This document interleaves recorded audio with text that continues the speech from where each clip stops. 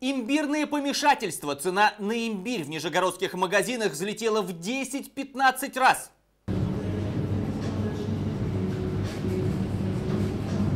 Скажите, пожалуйста, почему у вас имбирь 4000? Здравствуйте, я не могу, не владею такой информацией. А сколько стоил до этого? Точно не могу сказать. Чувствуете, что он поднялся в цене-то или тоже? Ну да, в цене он поднялся, причем очень сильно. Все хотят, конечно, как-то выжить, и мы хотим.